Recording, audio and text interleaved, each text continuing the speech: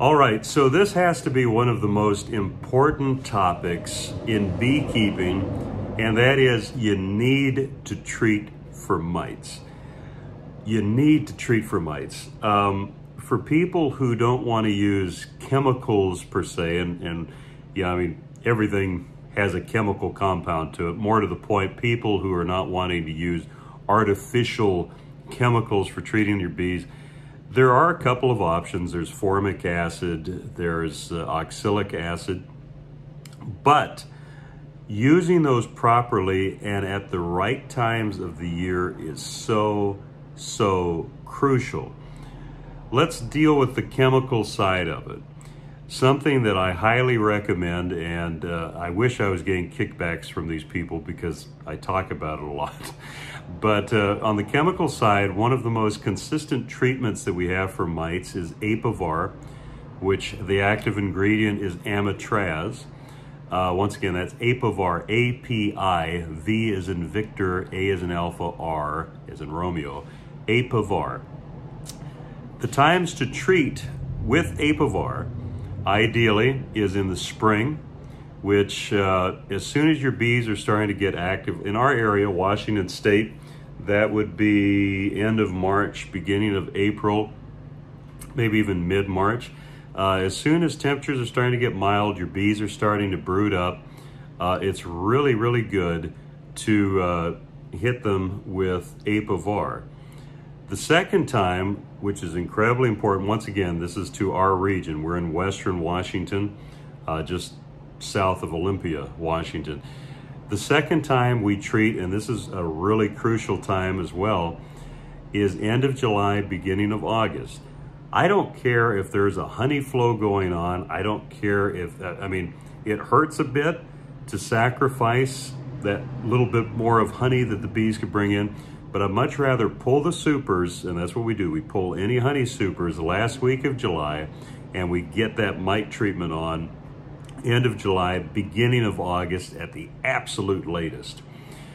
So we do that. Uh, the reason that's important is that your bees are, you know, during the summer, they're building up to the largest population, which also means that they have the lar or that the mites have the largest uh, amount of hosts to reproduce.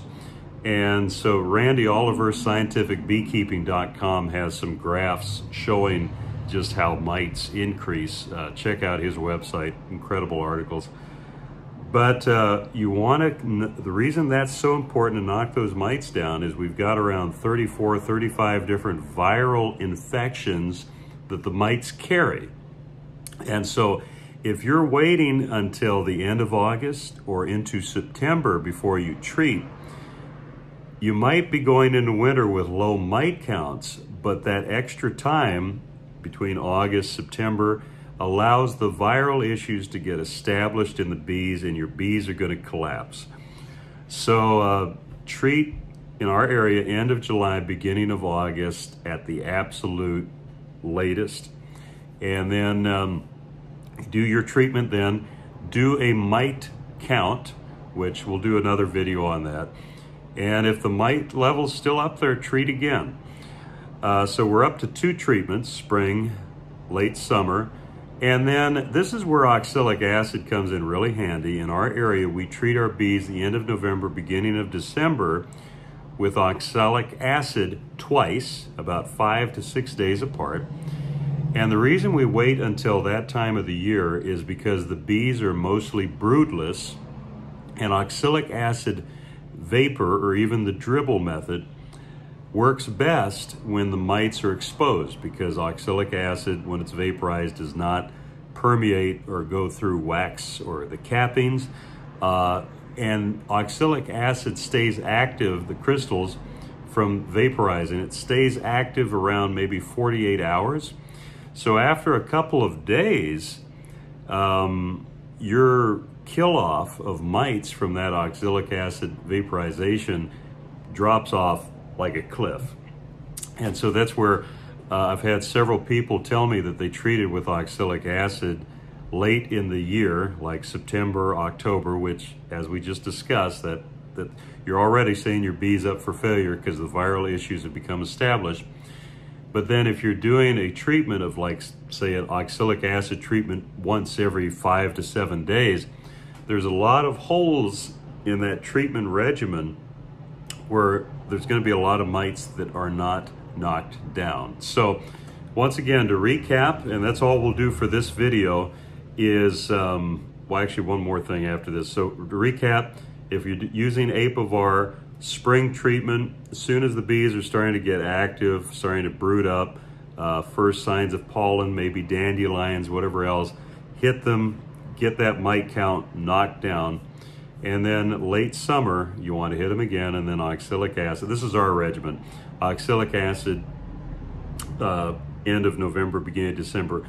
Our treatment regimen for our area, key thing there. Um, a friend of mine, a colleague of mine, who relies solely on oxalic acid, and I'm not recommending you do this, I'm just telling you what he does, because he uses oxalic acid uh, as his only treatment method. What he told me is work, was working for him was to do one treatment of oxalic acid every three days, eight to 10 times.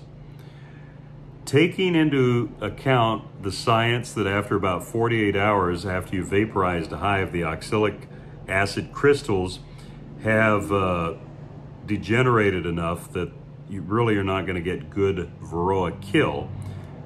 It makes sense that if you're doing a treatment every three days over, or eight to 10 times every three days, you're going to cover uh, an entire brood cycle. So you're going to be able to keep those oxalic acid crystals strong enough uh, in the hive to get a good consistent kill. Once again, I would recommend that if you do try that, that you do the same thing, spring, late summer, and then just do a couple of treatments because once again, there's no brood in our area end of November, beginning December, or very little. And so you can do a couple of treatments, say five days apart, and, and that works. Uh, anyway, so yeah, no, once again, mite treatment, that has to be 90%, if not more, of what's going to set you up for the greatest uh, probability of success and your bees looking good. Mites, mites, mites, you have to treat for mites. And uh, if you need clarification or questions in regards to that, feel free to answer or ask rather. And uh, if there's enough uh, questions around that, I'll make a video. Hopefully this is helpful to you, but uh, I really I can't underline this enough. Mites, mites, mites. Uh, most of the issues that people deal with with their bees, as far as health and everything else, are secondary or, or, or are byproducts of viral issues that have compromised the colony's health. Uh, people who call me about, you know, wasps killed their hive or, um, uh, or, you know, weird stuff like that. Almost always, that's a secondary cause from their bees' health being compromised because there is varroa mite issues and the, the viral issues that the mites carried have compromised the colony's health and allowed secondary things. Same thing with small hive beetles. Uh, if you have healthy colonies, small hive beetles aren't going to be an issue for you. Uh, anyways, so hopefully this is helpful to you and we'll uh, continue to keep these uh, beekeeping 101 videos uh, going for you. And once again, let me know what's being helpful to you so we can continue to help you. Thank you again for your time and your business if you're buying nucs from us. And we'll catch you a little later. Bye-bye.